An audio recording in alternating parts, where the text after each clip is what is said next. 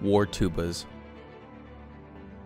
War tubas, or sound trumpets as they were sometimes called, were an early form of sound detection for incoming airplanes. First developed during World War I and used by the British and French to detect German Zeppelins, they were still in use during the early part of World War II.